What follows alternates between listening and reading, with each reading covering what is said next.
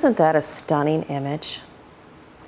The woman's face and tree were combined digitally in a computer, printed out, and worked into a painting, a beautiful painting. Hi, I'm Julie Davis. Welcome to Blick Art Materials Workshops. Today I want to tell you about a product called Lazertran. Now many of us are looking for ways to incorporate new media into the classroom, especially since we have computers now. Lazertran helps you get your students' artwork from the computer into traditional art forms. Let me demonstrate to you how. First of all, I want to tell you about a couple different types of Lazertran. Lazertran comes in a version that goes through an inkjet printer. I recommend, if you have access to an inkjet printer, to use this version of Lazertran first when you're starting out. Just about any inkjet printer will accept this type of Lazertran.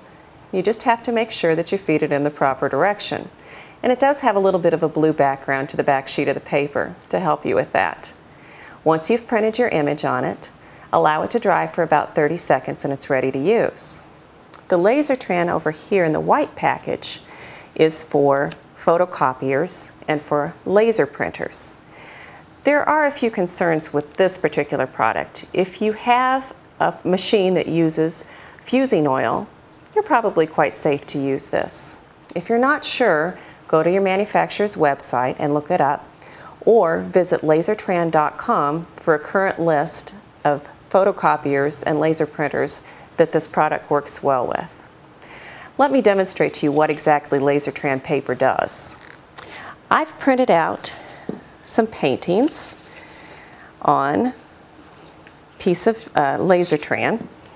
Now, I've printed small ones. You can fit about six to eight images on a page this way cut it out, and now I'm going to put it in just some regular tap water. You'll notice that it curls up immediately, and that's normal. That's what it's going to do.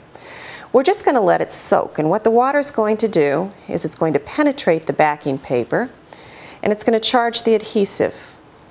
Now you can use images from your students' artwork.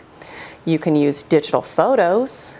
The images I've got here today are from a clip art book of great paintings and it's a copyright free. Okay, this is how you know that it's ready. Do you see how it starts to slide off the backing paper? While it's doing that, I want to point out to you just how incredibly thin and delicate the Lazertran decal is. Do you see that? Okay, bring it over to the surface that you want to apply it to. Now I have here just a very simple tile from the home store. And I'm going to first lay it onto the tile. And then I'm going to slide it off, the backing paper out from underneath it, like that. If you try and remove it from the backing paper, you might tear it because it is a little bit delicate. But once it's on there, you can move it around a little bit while it's still wet just to make sure that you have it centered exactly the way you want it to be. Then take your fingers and gently from the center work out any air bubbles and any extra water. Like that. And that's it. Allow it to dry and it's going to stay on there permanently.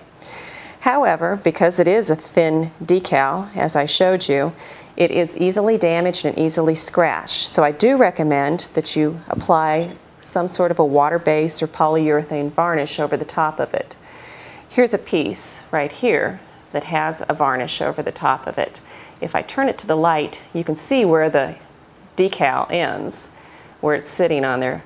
A neat thing that you can also see in here is that it picks up all of the texture underneath that tile, goes right down into every little nook and cranny so that you can see the texture right through the image.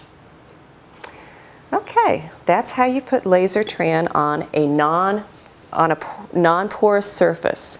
Glazed ceramics, tile, metal, glass, uh, plastics, um, most plastics, those types of surface, it's just a simple water slide technique like that. Now porous surfaces are a little bit different. And by porous surface I mean unglazed ceramics, um, wood, paper, canvas, even primed canvas. Any, not, any porous surface will need to be sealed first, otherwise the Lazertran won't stick. I have a couple wooden panels here. Now, if you read the instructions on the package, it will tell you that you can use turpentine to apply it to a wood surface. Brush the turpentine onto the surface, do your water slide transfer onto it, and the turpentine will actually adhere that, that transfer very permanently to the board. However, turpentine is not a classroom safe material. So, an easier way and safer way to get around it is to coat the surface and seal it with something. I've used a multi-purpose glue on this surface. Just brushed it over and allowed it to dry. Then we're going to do a simple water slide transfer.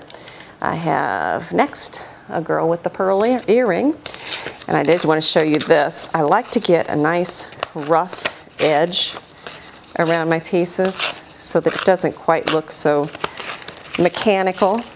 So what I'm doing is I'm actually just going to tear it out of the paper like this.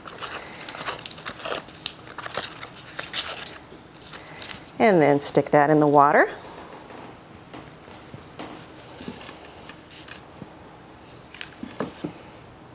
And give it just a minute to charge that adhesive, to soak up that backing paper.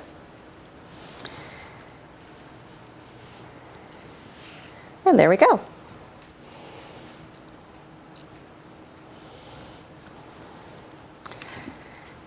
The box that I have over here is a wooden box with Lazertran applied. And the painting that we looked at first is actually a wooden plate that the Lazertran has been applied to using these techniques. All right, so now I'd like to show you a classroom project that you can do with your students um, incorporating Lazertran. I have a full-size image. Might be a little expensive to do one of these with every student, but just for demonstration purposes, I'm going to go ahead and use a full-size image.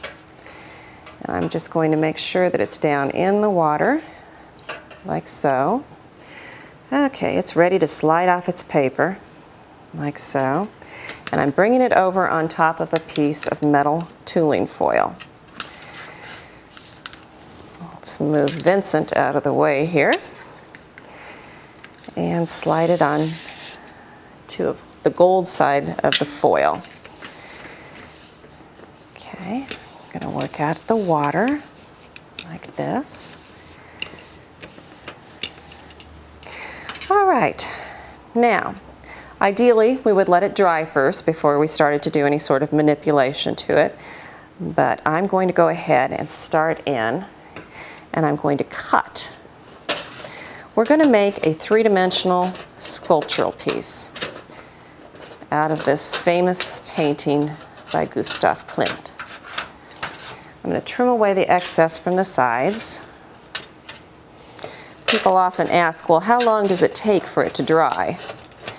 Just as long as it takes the water to evaporate. Might be a little bit affected by humid, humid conditions. You can speed it up a little bit by blotting it with a paper towel.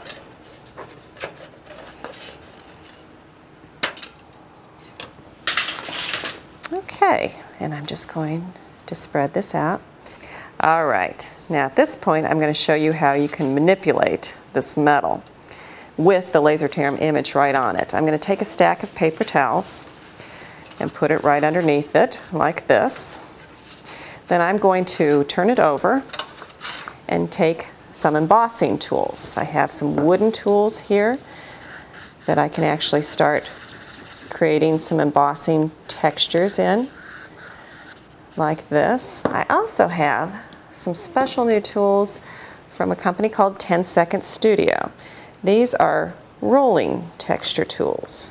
And as you can see, as I make them like this, they make really neat patterns just by rolling around. There's a scallop edge, there's a dotted edge,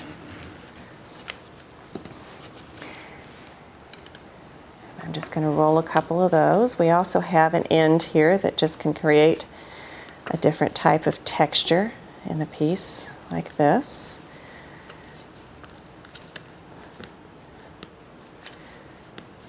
Great way to texturize metal. And let's go with the round piece too. A little bit. Okay, now if I turn that over, you can see where those textures have actually come through the Lazertran image.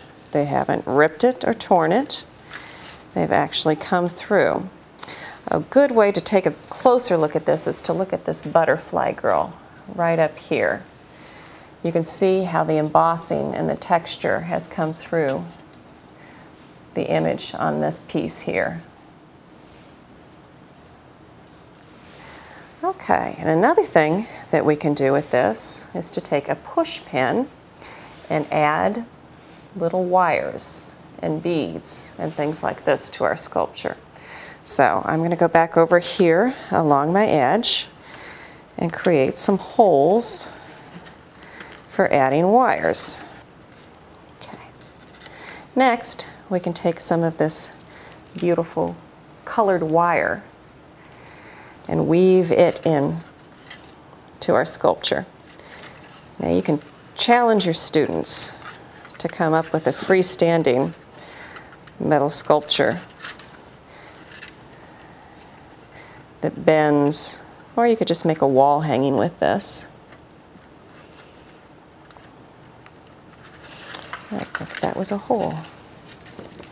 Okay, I'm going to snip that off and I'm going to add a couple colorful beads.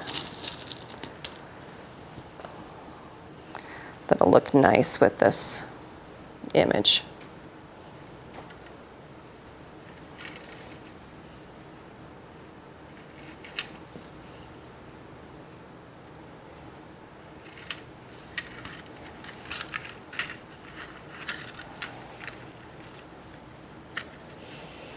Right.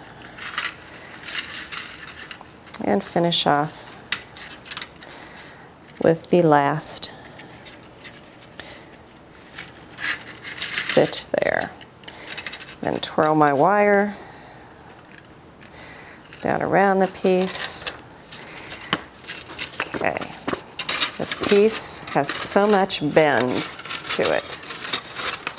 I can bend this to make it stand. Well, and there you have a very simple sculpture.